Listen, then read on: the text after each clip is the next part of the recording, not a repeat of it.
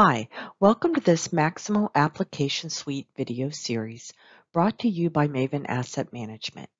This video is the second in a series to highlight the IBM graphical scheduler applications. In this video, we will take a look at what data is required to be set up in Maximo to enable the use of the scheduling applications. What we'll take a look at is our calendars and shifts, our person and labor records, our job plans, and our work orders. So we'll start out with the calendar. So in the calendar application, you must first create a calendar. The work periods will be defined. You'll create a shifts and you will apply those shifts. You can also set your holidays. So in our example here, we see the start date and the end date of our calendar.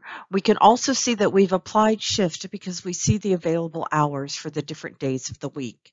And we can also see that we have our holidays defined because we see the President's Day holiday here.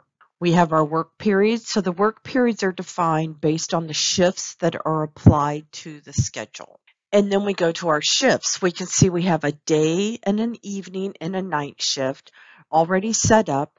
The patterns have been defined and the shifts have been applied to the schedule. So all of those pieces need to be in place in order to use scheduler. So now let's go over to our person records. Anybody that you are going to be assigning work to, checking their availability, all needs to have a person record set up. And what do we need to have on the person record? We need to have that primary shift and calendar.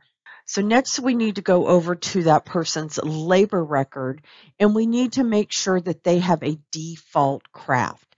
So you can see we have a craft assigned and it is checked to default. When a user only has one craft, that is their default, but they could have multiple crafts and then you would select the default from there. So next we're going to take a look at our job plans. So what's important on our job plans? Whether a job plan is just used on a work order or a preventative maintenance work order, it's very important that we always add labor to those job plans. So when I say labor, some people call it planned labor, some people call it craft requirements, but whatever you call it, we need to make sure it's added to any job plan that we're going to use on a work order that we want to schedule using the scheduler applications. So you can see there's, if you're scheduling crews, you can add crews. You need a crew or a craft. If your organization uses skill levels, you can fill in the skill levels. You also want to add the quantity. So I need one electrician, one mechanic, and then we also need their effort hours. So in this example, we need one mechanic for two hours and one electrician for two hours. And next we'll take a look at our work order. In our work order, on the plans tab, the things just like our job plan, we need to make sure we have those labor rows added to the plans tab on a work order. If we're not using a job plan that already pulls that information in, we need to make sure we add it, just like we did on the job plan.